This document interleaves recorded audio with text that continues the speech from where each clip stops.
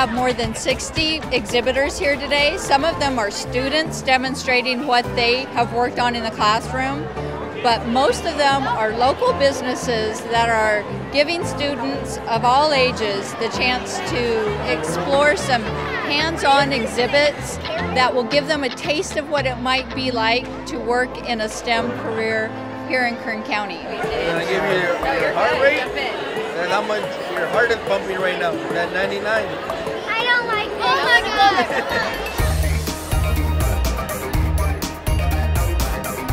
we can bring to the table businesses, but thanks to the superintendent of schools, the high school district, different education groups, they're helping get the students here. Is anybody having trouble seeing?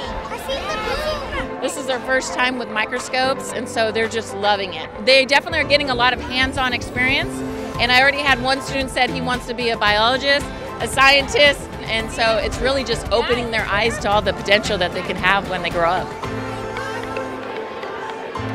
wow, they've got the kids' attention from the get go. They're chomping at the bit. They want to go in, they want to see what's going on.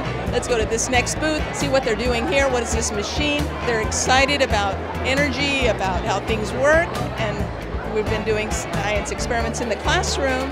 So this just continues that excitement and that interest in the science field.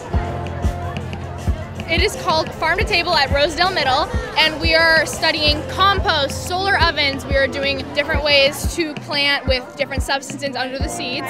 Growing things and knowing where it comes from is much better than buying it from the grocery store and not knowing where it originated from or who's holding it and touching it right before you eat it. And then the water just kind of flows through, through the pump, comes back up, and then goes back down. My favorite thing is probably talking to the little kids and their constant whys. And I, I love talking to little kids and seeing them get inspired by the things that we're doing.